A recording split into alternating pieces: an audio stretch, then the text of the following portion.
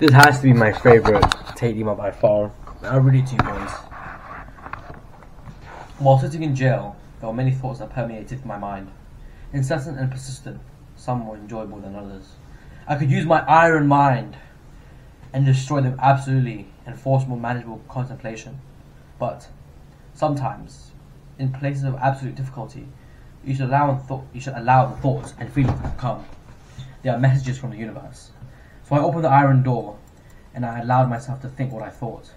Some days I would be hopeful, others pessimistic. Both had advant- advantages and disadvantages. Advantages, disadvantages. It was difficult to decide which mindset I truly preferred, so the universe decided to tell me. I was stuck inside a 3 meter cell, 24 hour a day lockdown, zero yard time. Lock yourself in the bathroom without your phone or laptop and try to sit for an hour.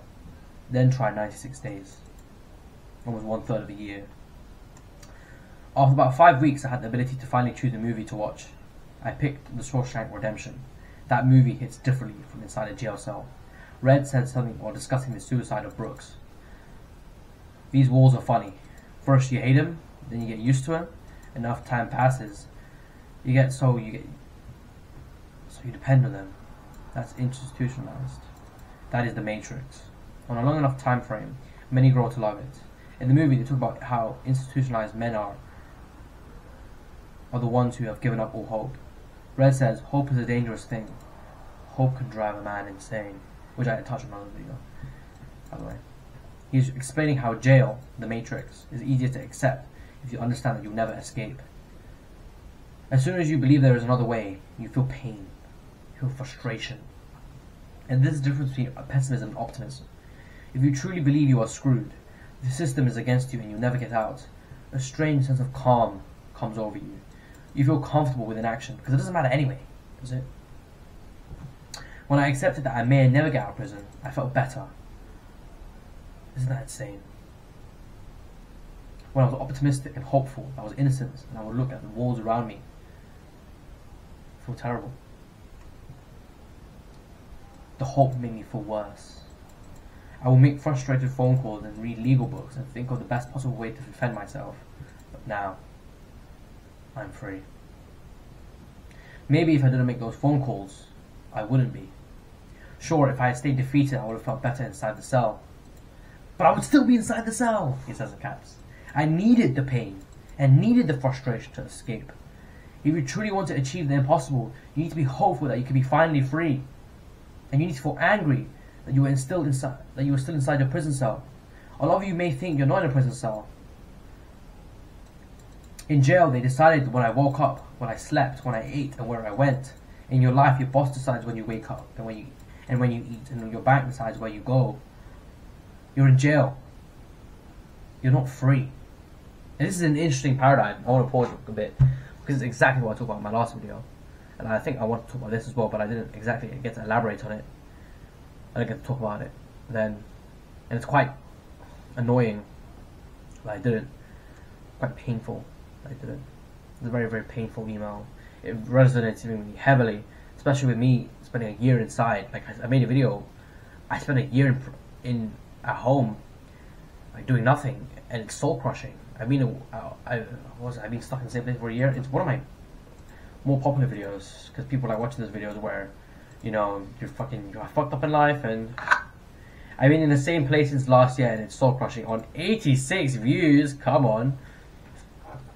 Yay! Yay! Bro, when I start making shorts, my growth is gonna be exponential. Exponential. In this motherfucker, man. You don't believe me. You don't need to believe me. I've been making videos for a while now, huh? 1,224 views, 157 videos.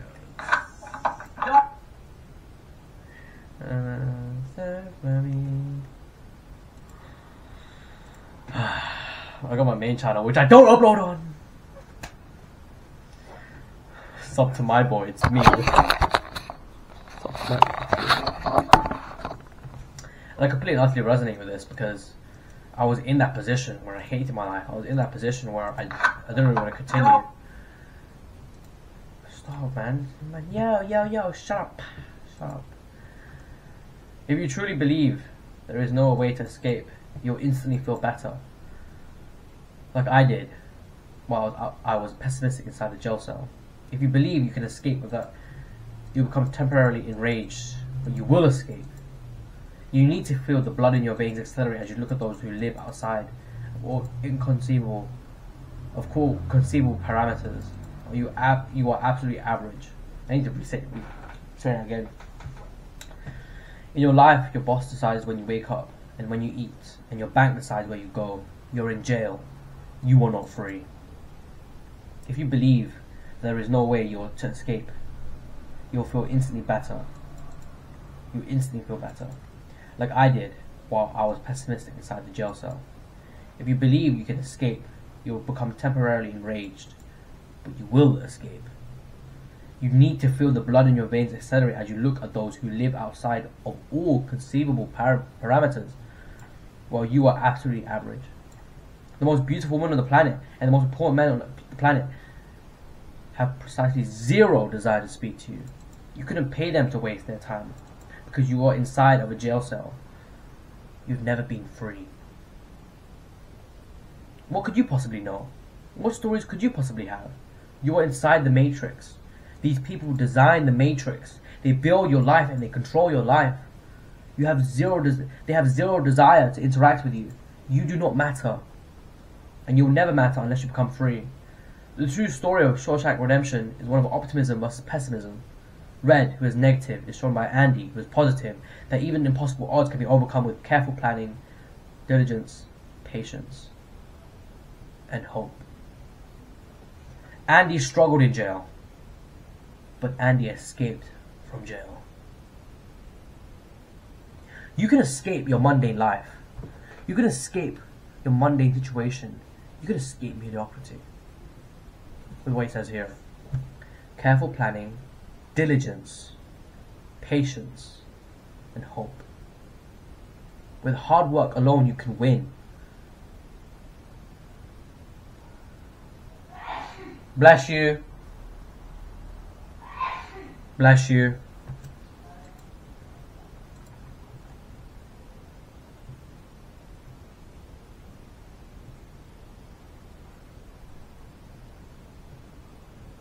It has an image of here looking absolutely massive. When the night was its darkest and the jail was silent, I heard a slight knocks on my door, my cell door. I believe it was something called doubt. I did not answer. Red was too much of a coward to feel the true pain of enslavement and this is why you remain enslaved for so long. Do you understand what I'm trying to say to you? Careful planning, diligence, patience, and hope. Take this email was changed by the way. The original one was much more emotional, the original one was much more powerful. They changed it. I could, I could, I could tell.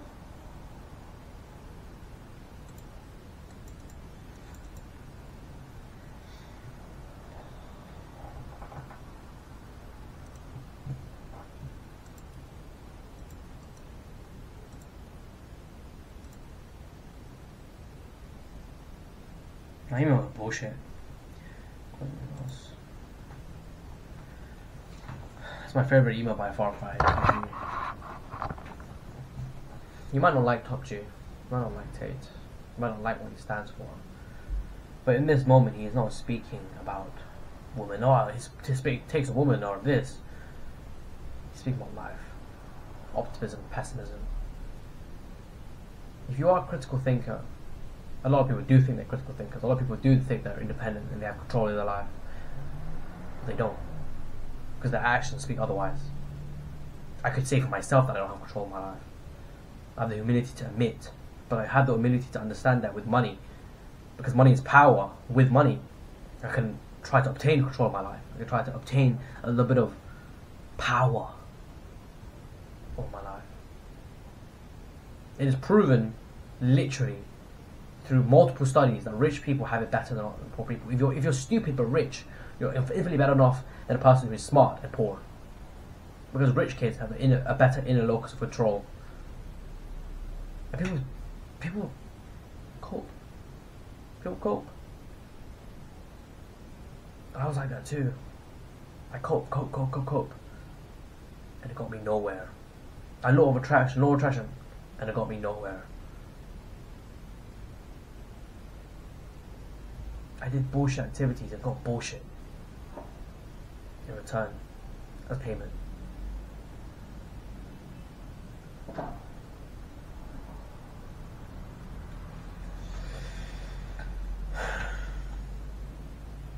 The original email was more powerful. I think I don't know why they edited it.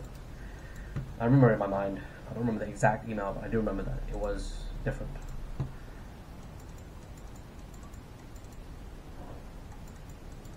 He changed that I could use my iron mind to destroy them absolutely and force them manual contemplation. He changed that. I don't know if you could change emails. But then again, it's just an image.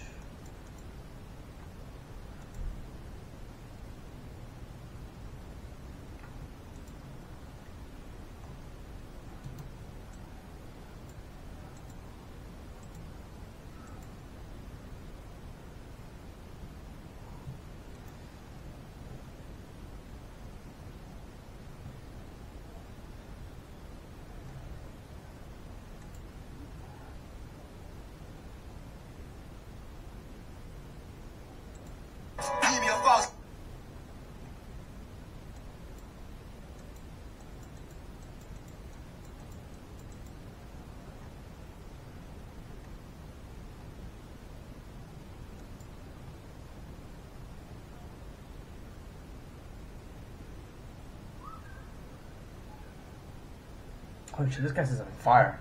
As a grain of sand was once a boulder, a man was once an atom. Mere iftar after eating one egg and one sip of harira. Facts. Where did he post this? Freedom at last. No way! What the? What the? How did bro manage this?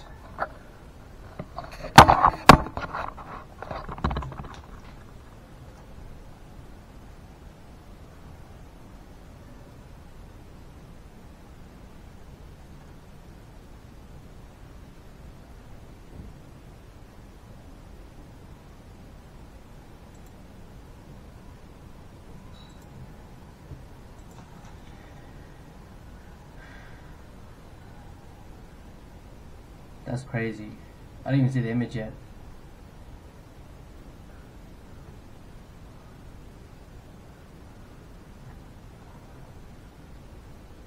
Bro, gotta go. Bro, bro goes to go to Thailand. Thailand, might, might look better.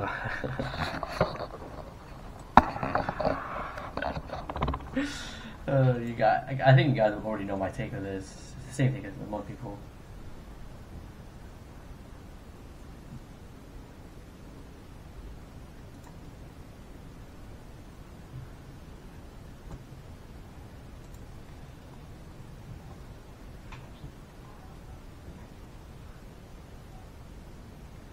What the? Donald Trump, Mike Tyson, that Hulk Hogan? Nah, it's not. Dana White. In one image. How the fuck? This is a phenomenal. What the? What the? This is my first time going through Twitter in like years. No, in a year. Two years, roughly.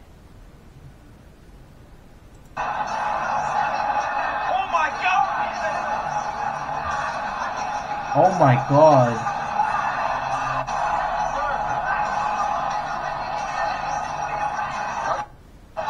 You better stand up. It's Donald Trump.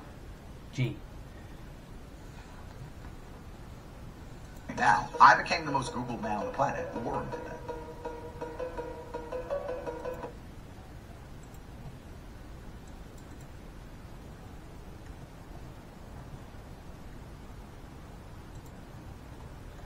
You giving any Rolexes? You motherfucking man.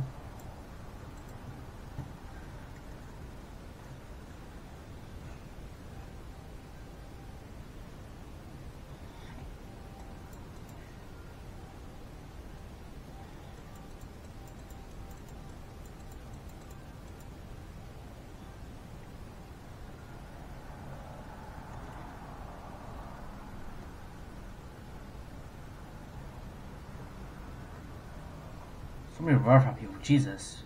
I don't even know what these people are.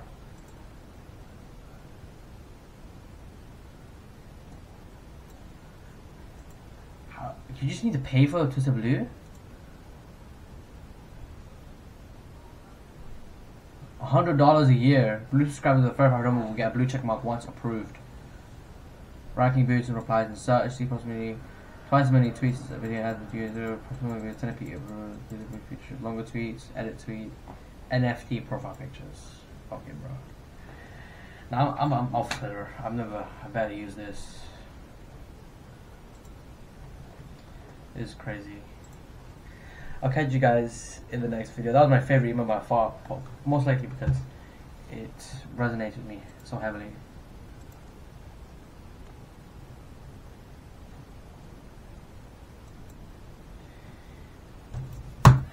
It with me so heavily that I often found it difficult to actually realize how trapped I was. It doesn't matter if your prison cell is stained with gold and luxury furniture, best TVs, rock out TV, audio. It's still a prison cell. And you're still in a prison. You're still trapped. You still yearn for something at the outside world. Even unless you had a room like that motherfucker Biscuit Oli- Oliveira in in Bucky, bro, motherfucker, man. You, you're never gonna feel free. I don't feel free here. I look at this room and think to myself, I could be somewhere else right now.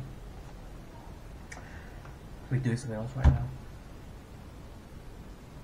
Jesus Christ, I'm, I'm gonna go meditate, boys, and read books.